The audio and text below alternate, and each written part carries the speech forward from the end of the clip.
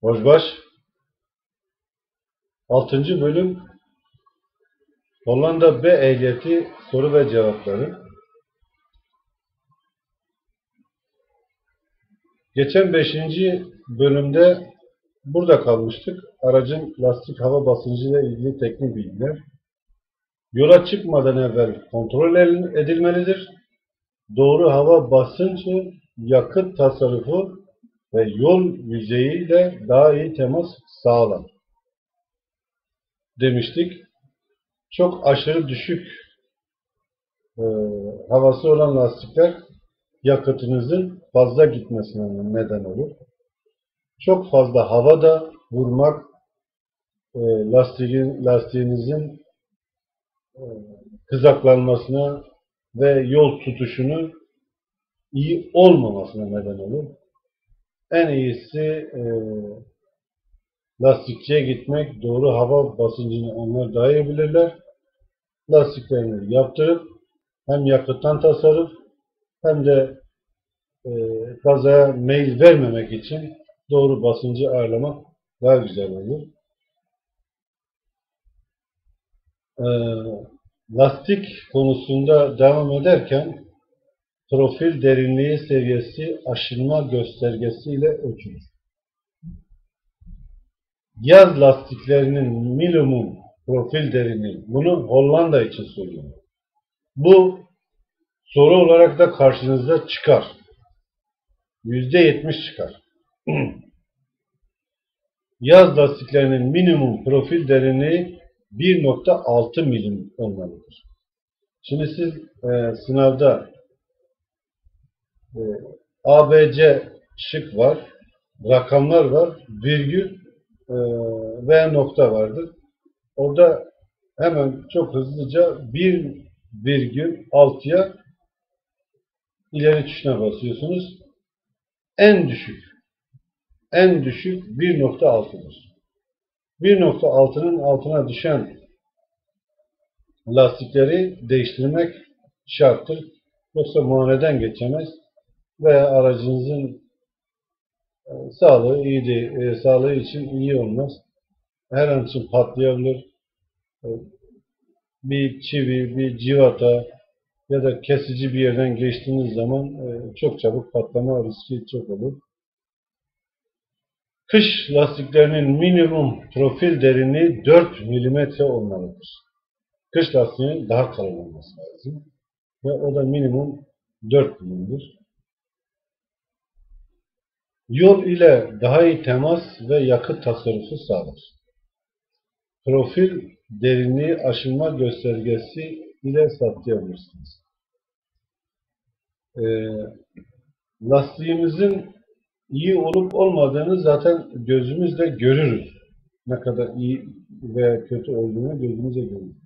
Ama hani içiniz rahat etmedi. Tam böyle kaç milimetre olduğunu bilemediysen yine lastikçiye gidersiniz. Onlarda milimler vardı. Böyle lastiği ölçen küçük parçalar vardı. Küçük aletler vardı.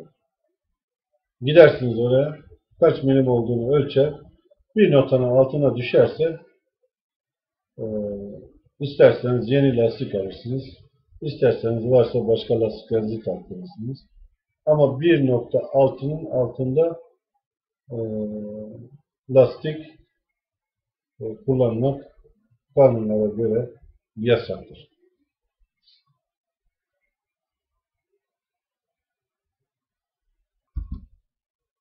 Takometre Takometre aracın ön göğüs tarafında bulunur ve devir dediğimiz sayacın hareketlerine takometre denilir.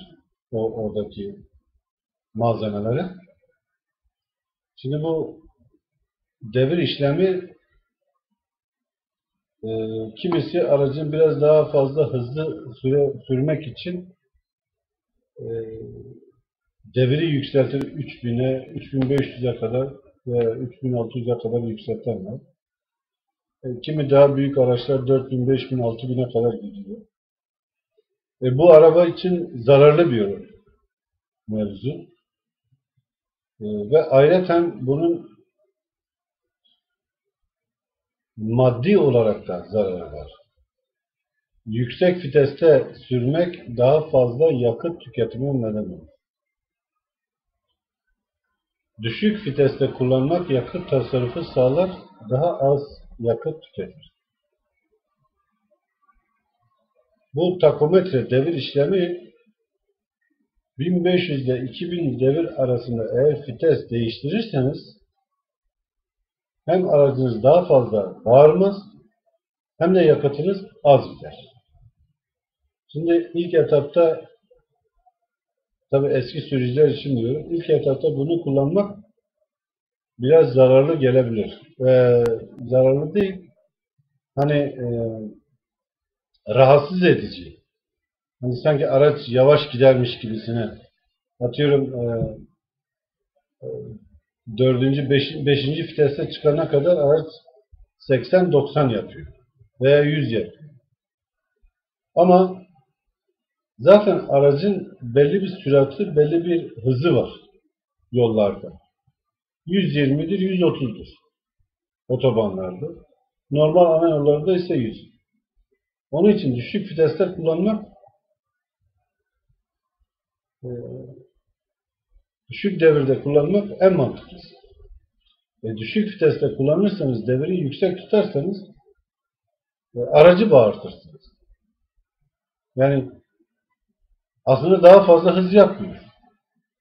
Normalde yüksek viteste de gittiğiniz zaman gaza bastığınızda aracınız hızlı gider. Ama bazı arabalarda işte sportif e, düğme vardı veya sportif vites vardı. O da bir nevi bunun görevini görüyor. Fazla devir verip daha fazla yakıt gitmesine neden oluyor. Dediğim gibi kilometreleri bellidir. Ama 1500 ile 2000 devir arası vites değiştirirseniz aracın sesini duymazsınız. Araç da rahat bir şekilde yol alır.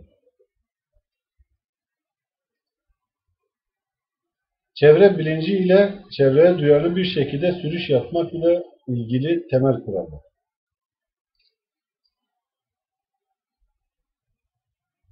Fazla yakıt tüketimine neden olan dolayısıyla çevreye zarar veren unsurlar. Camları açık, araba sürmek arabanın hızını düşürür. Bu içeriye giren rüzgarlar arabanın gidişatını etkiliyor. Onun için yakıtı daha fazla gider. E, gerek olmadıkça aracı klimasını açmak ekstradan aletlerin çalışmasına neden oluyor. Çünkü radyatörün hemen arkasında bir de klimanın bir radyatörü var. E, onun da pervanesi var. Onun da motoru var. Ve soğutma sistemi var. Bu da yakıtın fazla gitmesine neden oluyor. Araçta bulunan diğer bütün özellikler fazladan yakıt tüketmeye neden oluyor. E, ihtiyacınız olmayan bir şeyi arabanın bagajında bulundurmayın. E, gerek yoksa aracın tavanında ekstradan bir şey bulundurmayın. Ve içine bir şey bulundurmayın. Çünkü araba ağırlaştıkça siz her gaza bastığınızda araç zorlanarak gidiyor. Ve bunu hızlandırmak için de araç daha fazla yakıt tüketiyor. Bu sebepten dolayı cam açık sürmek, araç klimasını kullanmak, araçta bulunan diğer bütün özellikler fazladan yakıt tüketimine neden olur.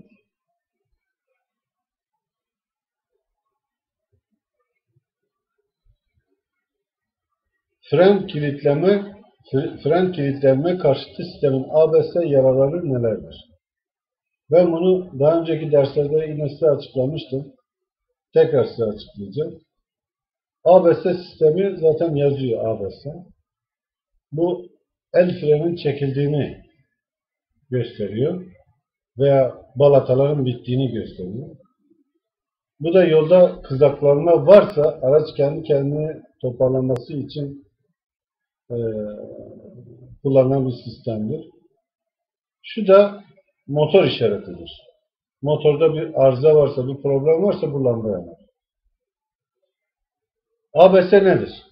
Yararları nedir? Her zaman fren mesafesinin azalmasını sağlar. Yani sizi bir kazaya karşı korur. Arabanın dengesini sağlarsınız. Kızaklanmaz, araba kızaklanmaz, bir kazaya neden olmaz. Ani fren yapma durumunda direksiyon hakimiyetinin sağlanmasına yardımcı olur. ABS hemen hemen son bütün arabalarda bu sistem vardır.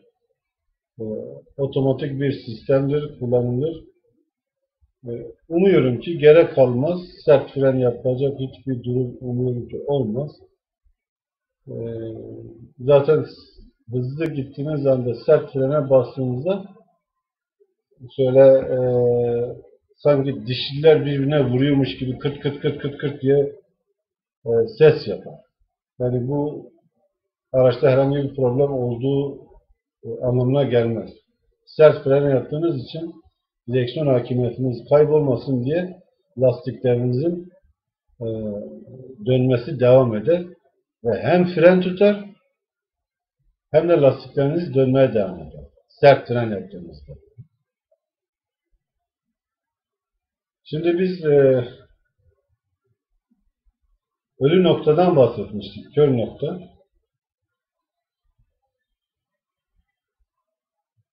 Aracınıza bindiğiniz zaman aracın tüm her tarafını gördüğünüzü sanırsınız. Ama ölü nokta dediğim hani böyle omuzdan sağa bakmak veya omuzdan sola bakmak Hiç hiç farkında olmazsınız bir araba gelir yanınızda durur sizinle beraber yol seyrinde olur ama onu aynada göremezsiniz. Arabanın ölü noktası doğru cevap B. Kısım 2'dir. Araba gelir burada yanaşır size. Siz onu burada göremezsiniz. Ancak kafanızı kafanızı çevirdiğinde görürsünüz. Ama bir olan bölümde tüm yolu görürsünüz. Yanınızda duran aracı göremezsiniz.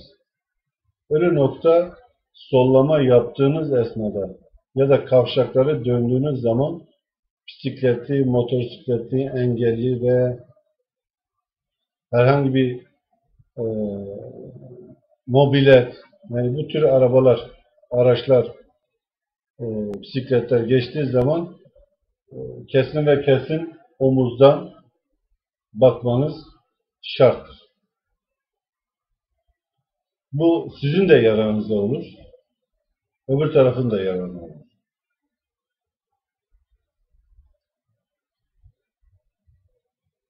Aşağıdakilerden hangisi uyarı işaretidir? Şimdi bunun her ikisi de uyarı işaretidir.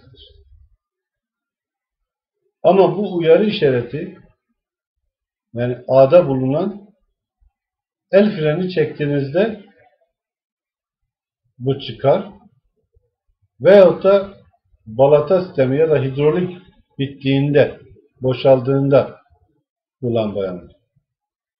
Ama uyarı olarak gerçek anlamda trafikte kullanılan flaşör yani dörtlü sinyal dediğimiz olay.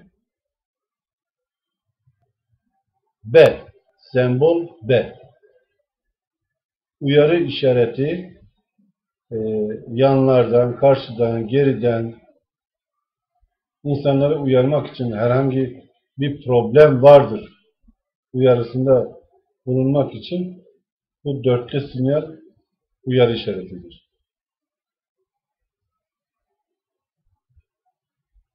Lastiklerdeki hava basıncı kontrolü ne zaman yapılmalıdır? A. Yola çıkmadan evvel. B. Yolculuktan bir saat sonra. C. Yolculuktan hemen sonra. Nereye giderseniz gidin. Uzun veya kısa yol. Arabanıza belli bir müddet sonra alışırsınız. Yeni araç sürdüğünüzde. Veyahut da bir zaman sonra mümkün mertebe araca hani hissederek gidersiniz. Alışırsınız araçlara. Yamuk gider, lastiği düzgün çeviremezsiniz, ağırlaşır. Ee, yola çıkmadan evvel kontrol ederseniz bu hem sorunun doğru cevabı olur hem de sizin açınızdan güzel olur. Bu sorunun cevabı A'dır. Yola çıkmadan evvel kontrol edilmelidir.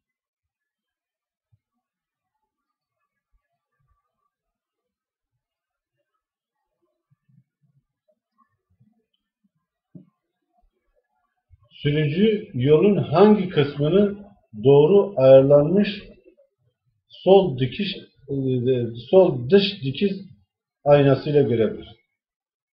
Sürücü yolun hangi kısmını doğru ayarlanmış sol dış dikiz aynasıyla görebilir. A.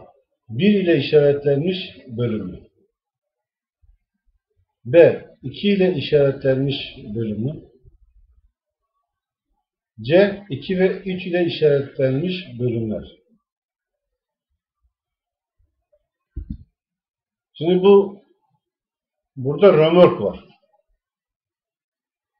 Römork olduğu için üzerinde de yük varsa siz geriyi göremezsiniz.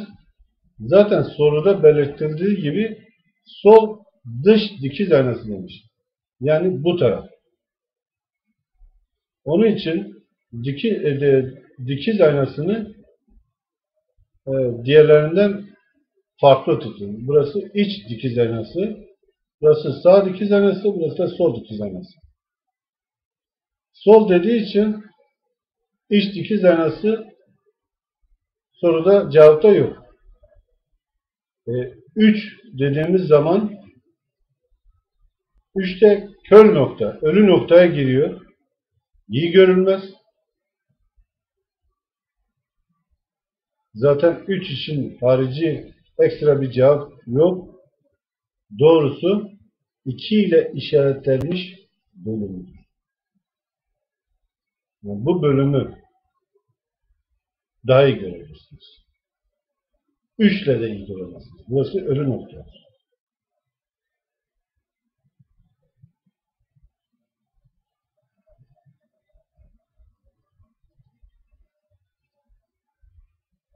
Lastik, lastiklerdeki profil derinliği en az ne kadar olmalıdır?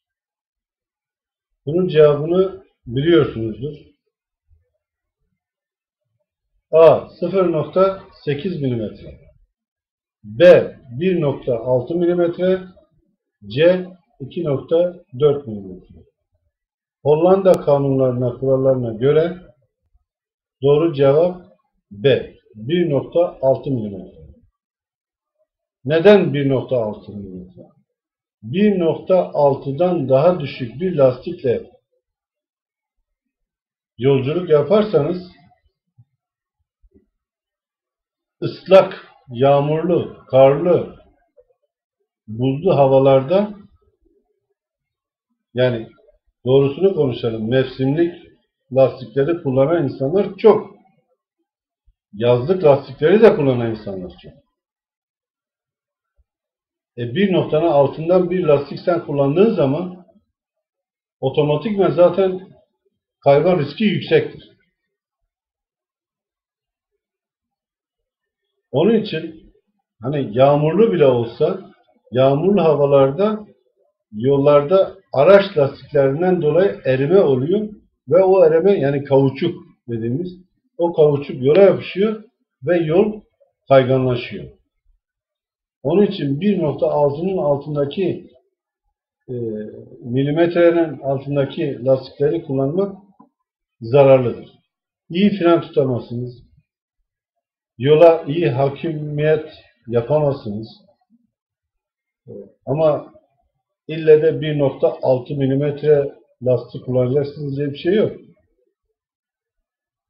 2 milimetre kullanın, 3 milimetre kullanın. Bu, bu sizin için çok daha iyi. Ama en düşük, en düşük e, kullanılabilecek 1.6'dır. Zaten ondan ötesinde lastik aşırı inceliği kullanılamaz.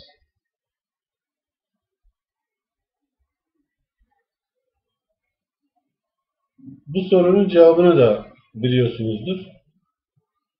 Hangi devirde vites değiştirmeniz gerekmektedir?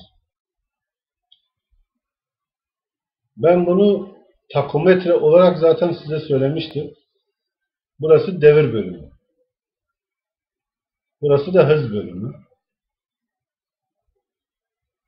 A 1500-2000 B 4000 C 5000 Zaten 5000'e çıkabilecek araç pek yoktur.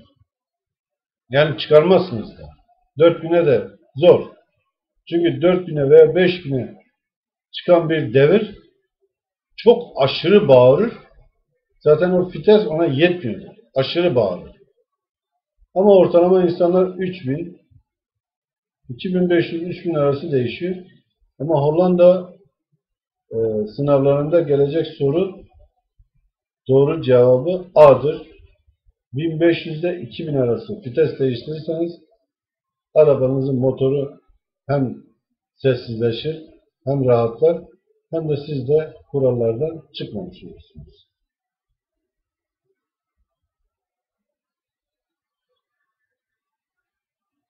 Şurada takometre vardı. Ben size söylemiştim.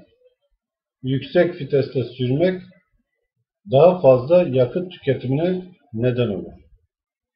Düşük viteste kullanmak yakıt tasarrufu sağlar, daha az yakıt tüketir. Benzinli araçlarda 1500-2000 devirde vites değiştirmek gerekmektedir. Dizel araçlarda 1500-2000 devirde vites değiştirmek gerekmektedir.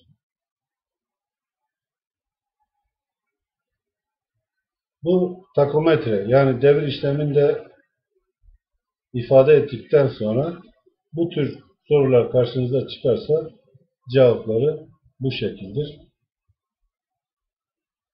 Rojbaş.